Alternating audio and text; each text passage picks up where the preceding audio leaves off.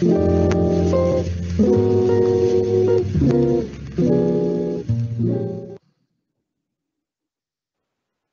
to FSI Fridays.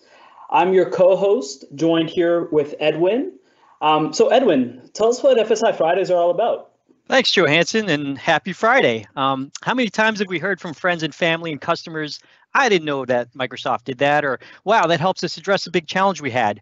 So I know we got together and said, how awesome would it be to share customer successes with others focused specifically on financial services? So um, I know we plan to, you know, throughout these sessions, span capabilities across our major four solution areas. But Johansson, it's all yours if you want to kick it off. Great, thanks, Edwin. So we'll spend the first 30 minutes talking about our capabilities within Microsoft Shifts as well as an important topic um, really around returning to the office. We'll also leave the last 15 minutes to address any burning questions that you may have. So please use the Q&A window and we'll monitor that during the presentation and uh, answer those questions as we get started. So um, I'm really excited to share today's topic. Um, and as we think about today's topic, um, want to kick off with some background, Edwin, and some context? Yeah, sure, for sure. Um, so similar to our session one with Microsoft Bookings, organizations are always looking for ways to streamline their transition back to the office like uh, Bookings did to connect customers to financial service representatives through appointments and virtual meetings. We've also seen at Microsoft uh, where we've created a hybrid work stage approach while connecting with other organizations so that we can share learnings from each other, including perspectives on transitioning from a work from home scenario to a soft opening to uh, being fully open. Um, so let's get started. I'm, I'm really excited that we're joined by Marissa Waddell. Uh, Marissa, thanks for being here. Uh, what's your role at Microsoft? Hi, everybody. Uh, good afternoon and good morning. Uh, my name is Marissa Waddell. I am a customer success manager focusing on modern work in the East region. Uh, all my customers are banks in the East region. That's great. And um, as customers are asking about returning to the office, what are you seeing and hearing lately? Sure. Many customers are planning return to office strategy, like you said, Edwin. Certainly, everybody is worrying about employees' health and safety. That's their absolute first priority. But at the same time, how can they find a solution that is easy to use and implement? Uh, recently, Teams has played a vital role in enabling many, many customers uh, working remotely and being productive, right? Customer has always asked me, Marissa, I want a tool that can integrate with Teams and manage employee shifts and scheduling spaces fairly easily we actually have a tool in our Office 365 suite called Shifts, which is a quick and easy solution for our customers. Uh, this is just one scenario, right? There are many other customers have some unique customized requirements. Um, so we'll talk about that later and how we, you know, build actually a Power App that can meet those re unique requirements. Thanks, Marissa. Um, so speaking of shifts, um, welcome to FSI Fridays, Kensington. Um, how about giving us a quick introduction and, and letting us know what you're seeing with customers as it relates to this topic? Yeah, so thank you so much for having me. So um, I'm with Teams Engineering and I focus exclusively on our first line worker personas. So in the financial services industry, that would be, you know, your your bank tellers um, in your retail banking, uh, your customer service reps, um, insurance reps, things like that. People who, in general, they don't uh, sit at a desk typing in a computer all day. They're they're out. They're interacting with your customers. They're getting the the job done. Um, and uh, in many day- cases, they are your essential workforce uh, that is still active and working today. So uh, as we understand know it, uh, first-line workers are kind of the backbone of all of these major industries, and we have a wide variety of solutions uh, within the Microsoft portfolio to help address the needs of these workers, whether that's onboarding or training, task management, um, integrating line of business applications so you can process loans and do different things like that within our story. But we're going to kind of just double click today on the shifts and the shift uh, scheduling aspects. So um, with that, I'm going to actually take over the screen here and show you a sample of what we're talking about here today.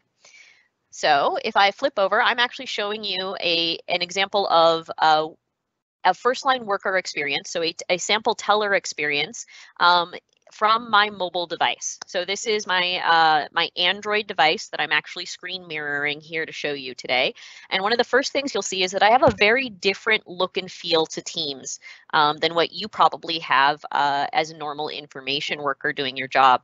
Uh, in fact, uh, you'll notice I don't even have the Teams button on the bottom of my, my Teams application. I have chat, shifts, walkie-talkie and tasks and walkie-talkie and tasks are coming to teams soon to you and we're here to talk about shifts here today. So the first thing you'll see is um, i have up on my schedule my next shift coming up uh, tomorrow at 5 a.m i we apparently run some pretty uh, great banking hours uh, here in in my uh, bank branch You'll see that I am a part of the loan officers group and that's my next schedule, but I can actually go in here and take a look at all of the shifts that I have coming up. So one of the important things to understand about shifts is that we built it uh, for two very distinct purposes. In places where you do not have an existing workforce management solution today, um, you can actually deploy shifts uh, automatically, kind of cleanly out of the box, the way that it is. It's a nice, lightweight workforce management solution.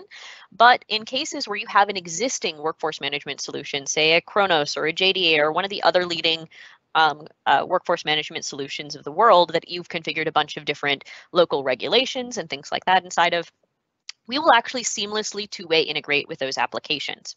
But the end user experience here is completely the same. So regardless of whether this is shifts run natively or shifts deferring to your system of record, um, this is the way that it will look to your uh, to your retail banking associates. And so you can come in here, you see all of your shifts uh, coming up.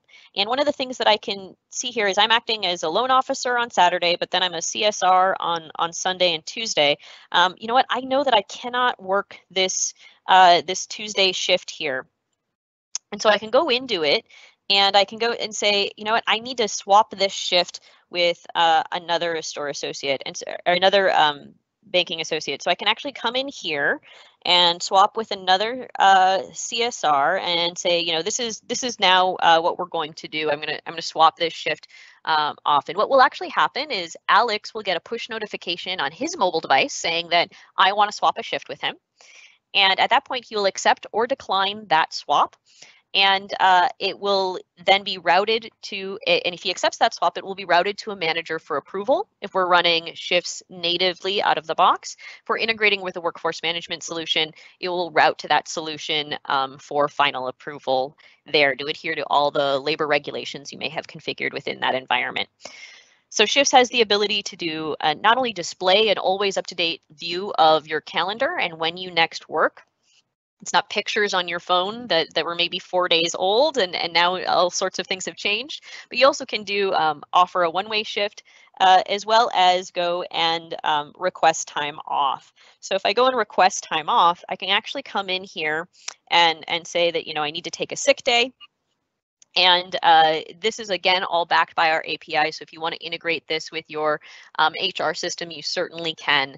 Uh, and as well as everything you see here in the time off types and are, are completely customizable to mimic whatever it is that you use in your environment. So I can request that time off and it will work just like I showed you before uh, with the ability to do all those um, to, to request that time off and, and uh, it will route to managers for approval or route to your workforce management solution for approval. Uh, one of the more unique things that we've built inside of Shifts is not just the ability to see your schedule um, and, and, and request time off, but also open shifts. This is the idea where everyone has a, um, a, a, series of shifts they're supposed to work, but we know we need excess capacity on, say, this Monday coming up. Um, I know that that there is um, some we need to be able to cover that. And so I can actually go and request that time. Um, it will then route to the manager for approval to say that I that I I'm okay to take those uh, those extra hours, or it will route to the workforce management solution to do that. And so, uh, and it's actually this feature in and of itself that we built for first line workers and this idea of an open shift um, capacity uh, management solution that, that's allowing us to, to really transfer what we've built today into a more um, a more kind of generic information worker return to work scenario. So while Shifts is a, a beautiful tool for your retail banking associates, we're actually seeing right now a, a, a, large uptick in, in usage and interest to use shifts to manage a return to work. And it's as, as simple as as this. Um, instead of saying um, these, so these different shift groups we have branch managers, tellers, customer service reps, things like that. I can actually come in here instead and say, uh, you know, maybe instead of being titles of different roles, this could be floor one of the the major office building. This could be, or this could be the marketing group um, coming back to work. And then using these concepts of open shifts, I'm actually able to go add an open shift, and I can say that this open shift is from eight until five, and say that I want to have 25 slots because somebody from HR has walked to this floor and says that, you know, on floor one, we're going to have 25 people work here today. And with that, I can actually save that off. And now I have 25 slots that we can go and uh, and people can go and request those slots. And as they there, as those shifts basically get assigned to go in to work in that, on that day on that floor, um, you know, it will deprecate from the from the total amount that of that are available. And now everyone knows uh, who's in the office when and um, what what slots are available if they if they do want to go into the office to work. So it's it's been a um, it's been a, a really easy turnkey included with Teams already um, experience that you can basically deploy overnight um, for for these workers uh, returning to work in, on these sites. Thanks, Kensington. I mean, this is this is fantastic. I know you know plenty of different customers that uh, have used Excel spreadsheets to you know sticking a a page on a corkboard to kind of manage the shifts. Um, you know, this built-in capability, and you know, it looks like this is all directly inside of Teams. It um, is. yeah, and, and you're you're also showing it. You know, you showed it on mobile first, but then you're also showing it in the in the browser here. And so this is available. Uh, I'm assuming cross-platform as well. So PC, Mac. Uh, it doesn't really matter what platform. It, if it runs Teams, Shifts is available. Fantastic. And so you, you touched on this a little bit uh, earlier, but you know, with our FSI customers, um, we see a lot of them have you know um, Kronos or JDA to kind of schedule their tellers. Mm-hmm. Could you just spend a little bit of time just you know telling us how that all works? Yeah, we designed shifts from the very beginning um, to understanding that lots of our major enterprise customers have made these existing investments in these third party tools. And so we weren't looking to replace those tools. We were looking to, to complement them, to seamlessly two way integrate with them, to provide a holistic single pane of glass employee experience. So while we are um, providing, while we were, we're talking today about just shifts, you know, there's there's employee training and onboarding, there is uh, corporate communication scenarios, and all sorts of different action, interactions that you may want to bring to this uh, this retail banking associates experience. And and shifts just complements that. It, it rounds out that full story and, and tells that single pane of glass um, experience and, and first class um, uh, retail banking associate uh, experience. No, this is this is fantastic, Kensington. Thank you for your time and for this very insightful de- uh, demo. I mean, we can see a lot of different, you know, you touched on all the different scenarios that this can be used for. Uh, just a reminder that, you know, for our audience, the Q and A is open. So if you have any questions, um, feel free to drop them in here, and we'll be sure to address them uh, towards the end of today's session. Um, So thank you. Yeah, totally agree, Johansson. Um, th- that was super helpful, Kensington. Uh, and and Marissa, I mean, Shifts looks great and seems to cover a huge percentage of what's required for frontline workers, especially. Um, what have you heard from other customers' requirements going back to work, um, in addition to the frontline workers scenario? Yeah, I hear additional uh, feedback on how facility right now is restructuring building layouts, um, seating arrangements to comply with social distancing for sure. I get questions a lot around how managers can actually track employees' on-site presence. What about employee can have the flexibility to book one day or multiple days of on-site access. You know, then you talk think about security, right? How do they grant building access remotely? How do they monitor who's in the building and when? So these are all legitimate requirements. They're not just unique for FSI customers, though. These are the questions coming from FSI, manufacturing, healthcare, education. So that is why our worldwide team built a customized application in our Power Platform to meet all the customer requirements. So our customers don't have to worry about it, right? They don't have to go in and design and implement. Um, this complicated solution, we build a simple solution for them to implement. And so they can really just focus on getting their business on track. No, that's a really good point, Marissa, especially around you know security and all these different considerations uh, that need to be taken, especially in, in the scenario for going back to work. And speaking mm-hmm. of, we are joined by Pawan. Um, before I move over to Pawan, I also want to remind people that uh, you know there's a Q&A window where you can start asking questions. We're starting to get flooded with uh, with some good, really good questions, so please uh, keep them coming. Um, in the meantime, though, Pawan, uh, welcome to FSI Fridays, and thanks for jumping in on short notice. I know this is a hot topic, and it's really keeping you busy these days. Uh, can you share your current role at Microsoft and what we're doing to help customers manage their plans for return to office, and specifically, what's the business need and why did we build this?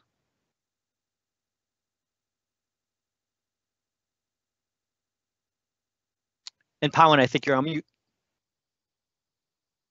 helps to get off of mute before you start talking. So thank you, Edwin, for pointing that. Um, hey, um, thank you for having me on the call today. Uh, I want to start by saying perhaps in a quick intro, uh, part of the global technical CSM team, we are a worldwide group as part of our customer success org and primarily focused on looking at opportunities, uh, solutions that we can build around teams and platform.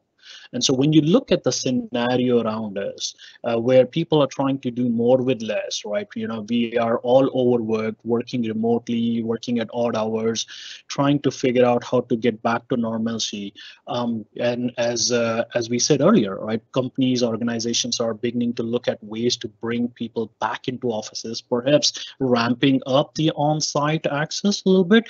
Uh, we started to look at ways to see what we could do, bringing the teams and the platforms together, coming up with a solution that will assist them with that. And so essentially the solution was based out of that specific need. Hey, we want to bring people back into offices over time, gradually increasing that occupancy threshold, making sure they were safe, making sure we were managing the capacity or the occupancy within an organization, making sure we knew who was on site at any point in time. So we were able to track, report, audit on that kind of stuff and essentially giving a way for employees to figure out what buildings were open for them to work on site of. How do I know what buildings I can walk into where the capacity hasn't been filled yet?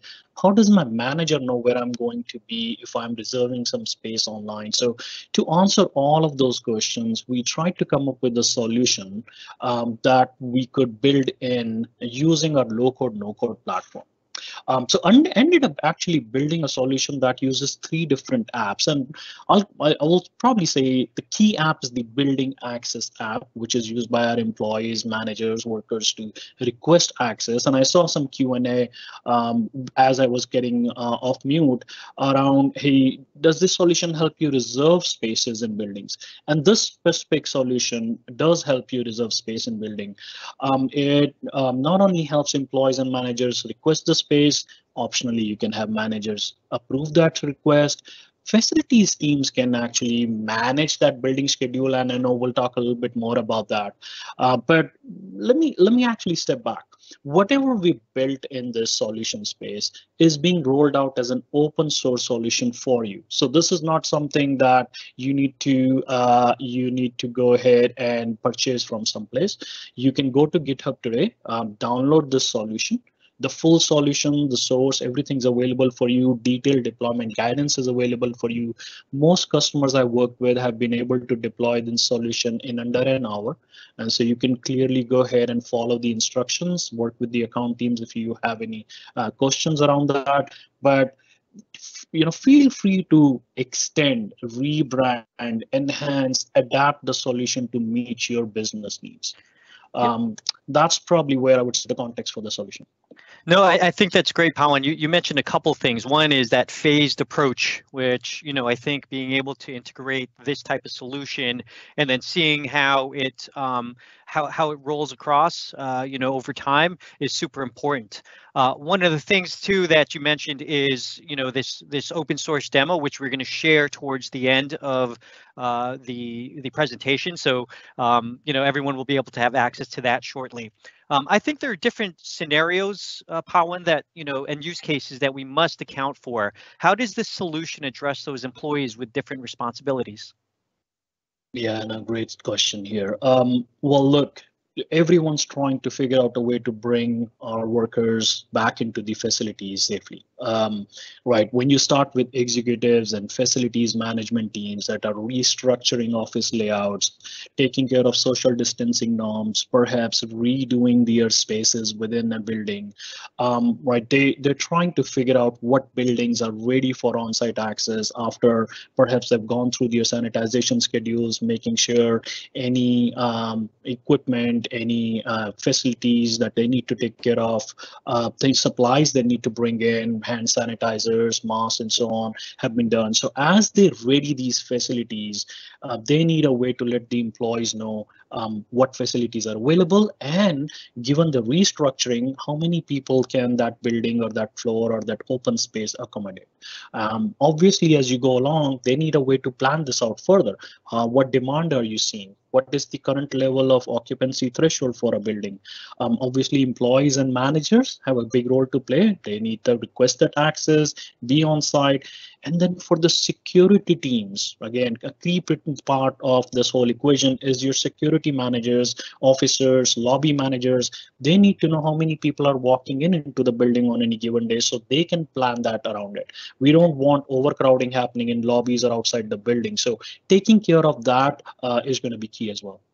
Yeah, I, Pawan, I, I think it's terrific that there's considerations taken uh, for withdrawing requests as plans definitely change, and it's important to account for some flexibility. I mean, all of mm-hmm. us had to drastically pivot for the last few months for sure.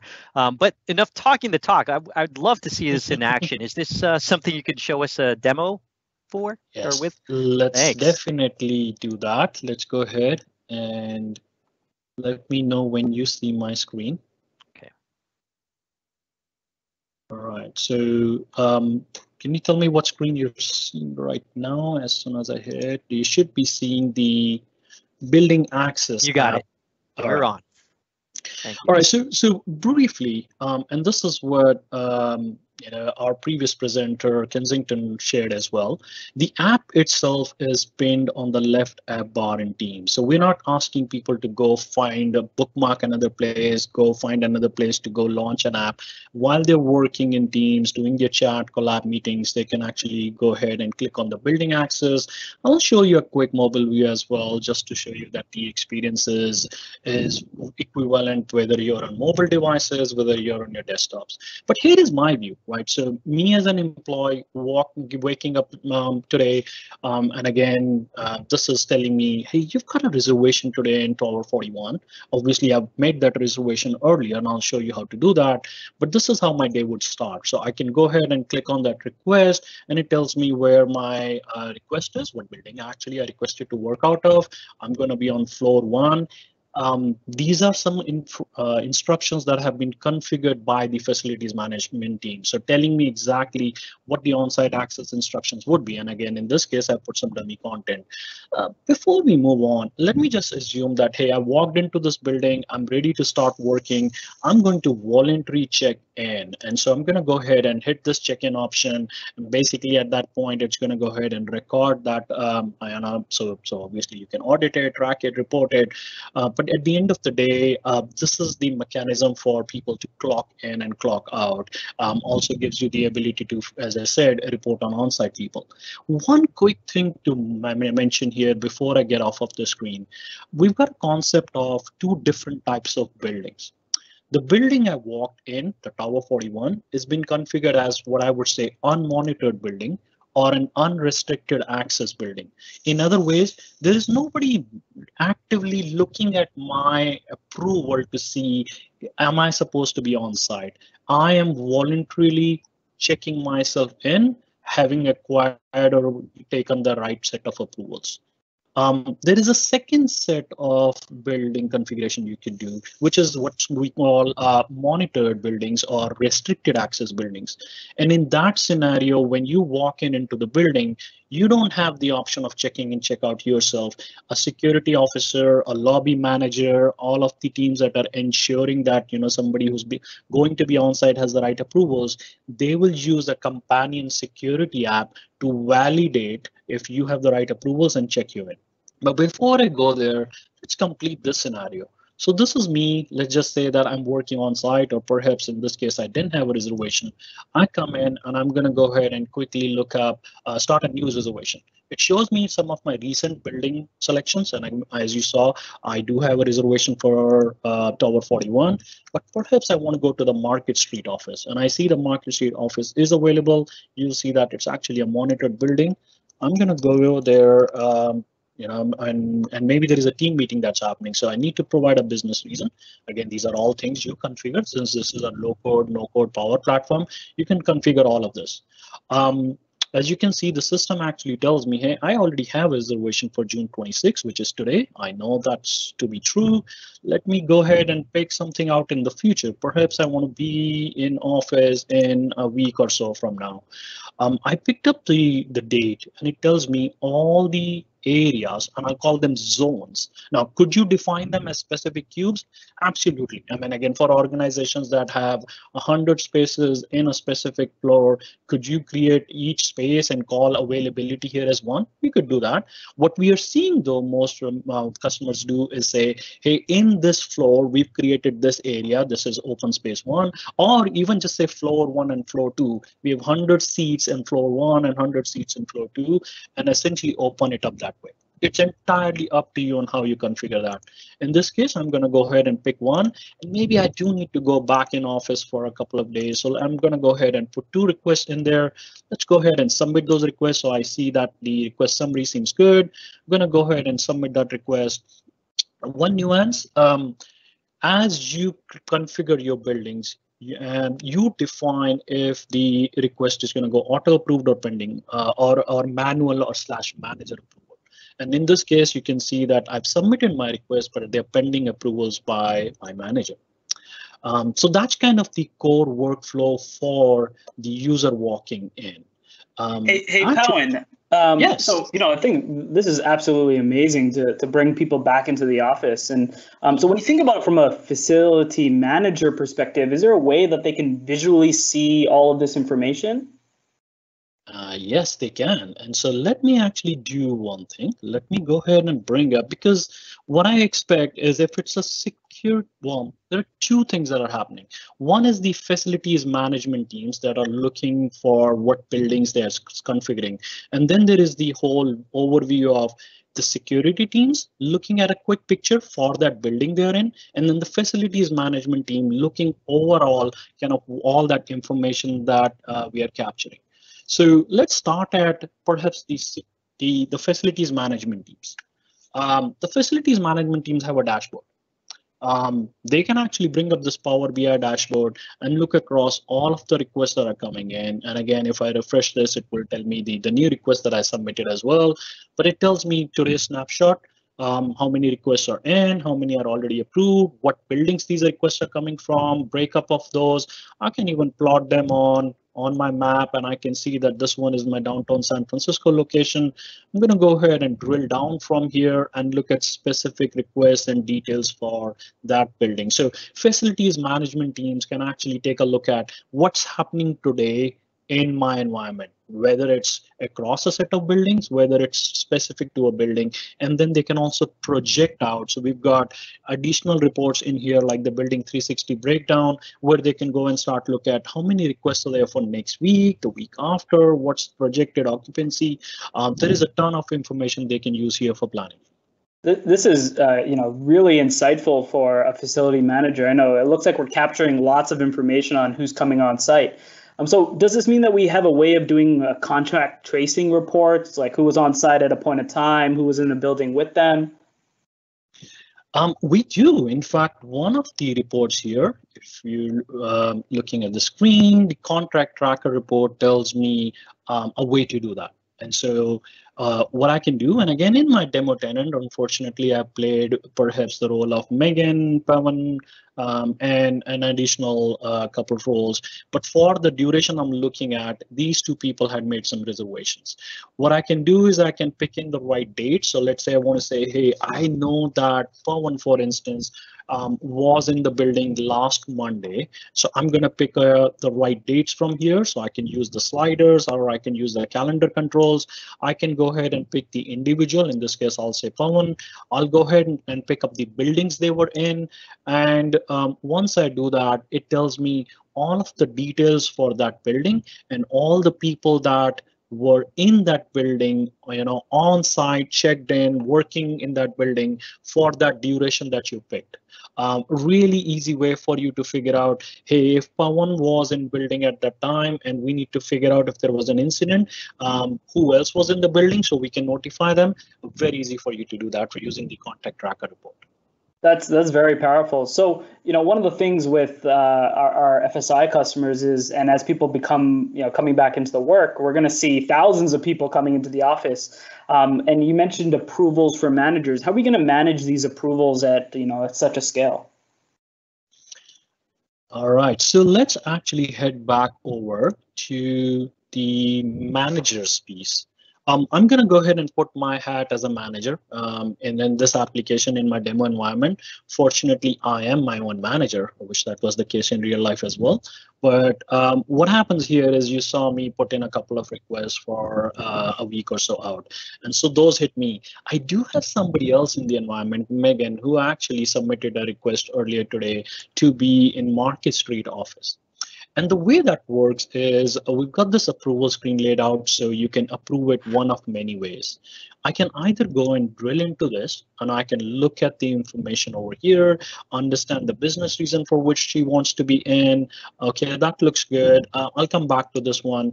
Um, because obviously I want to approve my request first. Um, and, and again, I can do it a few ways. I can actually go ahead and select a bunch of them, select all of them, do a bulk approval. I can hit approve one at a time. Um, but um, actually, let me go ahead and do one here. And what we'll do is I'll show you another way to do it. Remember, we are in teams and the intent is for us to make this more productive. Yes, managers are already overworked. I mean, managers, all employees seem like we are overworked. We are working insane hours. Um, but at the same time, we don't want to create a, a way for them to go find an app, find approvals in there, or generate additional email traffic for them. If let's just say they're working within Teams uh, what we've done is we've actually pushed the information to them right within Teams. And so in this case, you'll see that there are adaptive cards being generated um, for the information coming in. So for instance, Megan over here, when she requested that, it gave me a card and I can go ahead and hit approve right from here without even stepping out of my chat or collab environment. Um, but in this case, let me see, something else is going on. I see that she said she's going to be in office for a team meeting. Um, oh, by the way, I'm going to go ahead and start um, one-on-one chat with her and i was doing this demo earlier with someone and say hey megan the meeting's actually on 7-2 now. So perhaps i could go back and reject the request or have her withdraw the request and go back and resubmit it. But very easy for us to you know leverage the power of the platform here the chat pieces here to go back and quickly uh, check in with them. Perhaps plans have changed. Perhaps you know something else may need to be done. Or go ahead and hit approve right from here. And once that's done, I come back over here and it tells me, hey, the, the building approval or the request approval is complete. Well, it, Pawan, I, you know, we can't thank you enough. This is, you know, something that is very top of mind for our customers. I mean, you showed a lot of great capabilities here. Um, and, you know, customers want to probably understand how they can get started with this. So could you just share with us just a little bit of, you know, some of the next steps um, that customers need to, you know, maybe get access to this open source solution and, and how they could potentially deploy this? Sure. Um, and so as I said earlier, the source today is available for everyone to download and deploy. It's on GitHub. The short URL is listed on the screen, aka.ms building access app. Um, what you will find over there is a way to download the full solution. So it gives you access to the three apps. And we didn't get uh, a chance to show you the security companion app, but we've looked at the manager, uh, we've looked at the employee and the manager piece. Uh, there are, and again, as I'm talking, I'll go ahead and flip over. There is the whole building admin piece uh, where you configure the whole environment. And then there is the security piece. And you obviously you can run all of these on your mobile devices. But the intent is for us to be able to help you deploy all of these pieces. Um, you can go ahead and do that from the, the link provided. Um, the detailed deployment guidance, it's fairly well documented. Please follow that. And if you have any concerns, issues, questions, feel free to work with your account teams on that. And As I said earlier, this is power built on Power Platform. So feel free to brand it, feel free to extend it, adapt it, and make it your own, make it fit into your processes. Thank you very much, Pawan. This is you know remarkable, and we look forward to, to helping our partners um, and customers uh, deploy this in their organizations and, and get back to work. Um, so thank you, everyone. You know we're going to open it up, and we've got some you know a bunch of questions in the Q and A that we you know, love to to bring to our speakers here. Um, so we'll open with the questions here, and um, uh, let's get started with that. So one of the first questions here, this is actually for Kensington. Um, uh, we had a question here that asked, you know, does where does Shift store the data? Is this in SharePoint? Is this, you know, somewhere else? Could you just share a little details on that? Yeah, so we've published some documentation uh, that we can provide to you uh, to link, but it, it, in general, our, our Shifts data is stored in the Azure in Azure in our data centers in North America, Western Europe, and Asia Pacific, uh, depending on the location of your tenant. So um, basically, when you create your tenant in the first place, that kind of helps dictate which data center um, within our Azure environment that's managed by Microsoft um, this data is stored in. Great. Hey, um, I also noticed uh, Paul asked, when is this being recorded? Will be will you have access to it after? Um, that link in the middle, AKMS slash FSI Fridays recap, will lead you to our YouTube channel. Uh, we have our previous recordings there as well. And then there's another question by Paul, um, and this is for Kensington. Is this a potential use case for shifts to manage uh, cubicle hoteling on a floor, building, et cetera? Yes, and and you'll see that you know uh, Pawan Solution does that as well. So you re you really have a, a dealer's choice, so to speak, of, of solutions here to help you with your needs. What's nice about Shifts is that it, it is out of the box. It isn't a, a custom app that you have to go uh, sideload or implement. It, it, and it's really flexible to meet your needs. Um, we not only can you change the the name of those shift groups to be whatever you know floor levels like I was showing you, but we have different color codes for that you can apply to the different shifts that you could have mean something in your environment uh, visually that, that, that helps your uh, your staff, as well as um, you can actually rename the shifts. So you saw that natively my shifts were just called the time, the start and the end time, right? We can actually change that to be you know, cubicle one, cubicle two, or, you know, a particular area of a floor or a very specific desk if you wanted to. Um, you know, that that's all available to you. Those are basically text fields that you can customize. So we're seeing, um, you know, people basically walking the floors of their various um, locations to determine, you know, what they think is safe and what level of, of uh, you know, what scope they want to, to dictate this stuff down at and then um, transferring that into something like shifts can can do and if you're looking for a, a more robust more purpose built solution we have a pawan solution for you well, that's, that's great. Um, we got another question in here just around Pawan solution. Um, you talked about the no code and the, you know, you could customize this. Um, and what type of uh, army or what how many people do we need to um, actually put this solution together? Do I need, you know, can I do this with one or two people or do I actually need a whole team of developers and to, to kind of create a solution like this or deploy this? Yeah, so um, I think if I were to answer that as a general question, um, for the Power Platform, Power Platform is a citizen developer platform. It can be extended using the pro developers as well, but typically you would find one to two developers building solutions like these for their groups, for their organizations. Um, do we need more than that? I think it depends on the type of solution you're crafting. So as an example, the, the solution we demonstrated for you was built by a couple of developers over uh, two to three weeks, but that's also because we were working very iteratively with uh, quite a few of you, um, actually quite a few of our customers, gathering those requirements, taking that feedback and iteratively breaking those features in. So if you've got an idea of what you want to build, um, it's easy enough to do with one or two developers. That's that's great. Um, Pawan, we have another question around, you know, what if uh, I need to connect this app to my current badging system, or what if we have our own clock and tools, but want to leverage the, you know, Power uh, BI dashboards? Um, you know, how do we do that? Is that possible? Yeah, and again, this is a question that's come up a few times actually over the last two weeks since I started sharing the solution out. Uh, a lot of companies out there would love to tie this system back to their badging system.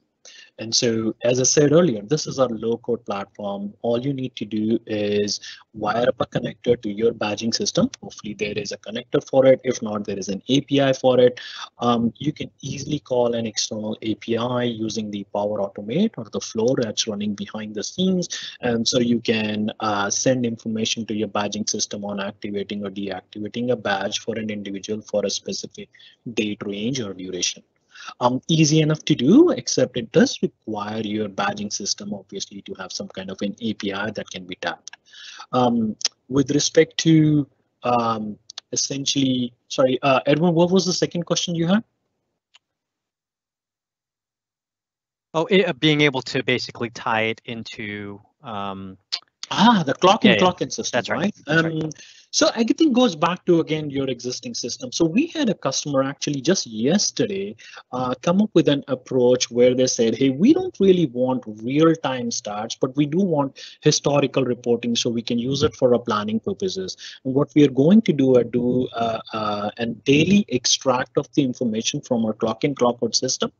Now, the system that we build, the building reservation system or the building access system, leverages SharePoint list behind the scenes of the data source. So what they're going to do is do a daily extract and load it in the SharePoint list that we've created. That way, the dashboards that we have, the Power BI dashboard that I was sharing, would be able to tap into their clock in, clock out information, provide the same level of trending, contact tra tracking, and additional uh, planning uh, insights they need to get out of these reports from that information. Great, thank you, Pawan. And uh, you know, I just want to take this opportunity to, to thank all our speakers, Pawan, Kensington, and Marissa, uh, for spending some time here with us on FSI Fridays. And we learned a lot about how we could leverage the power of shifts, um, as well as you know the capabilities in the apps uh, to return to the office. Um, if you have any feedback on this session or have ideas for future sessions or need to request a follow-up on this topic, uh, feel free to reach out via the, the short link there, aka.ms forward slash FSI Fridays feedback. And you'll find these videos as well as past recordings of FSI Fridays um, on our YouTube channel. Uh, feel free to subscribe so that once those videos are up, you'll have quick access to them um, to then share this amongst your team as well. Um, so uh, with myself and Edwin, we'd like to thank you again, thank our speakers, and we'll see you at the next episode um, of FSI Fridays. Yes, thanks everyone. Have a wonderful weekend. Um, and this is our July schedule coming up, so stay tuned. Thanks again.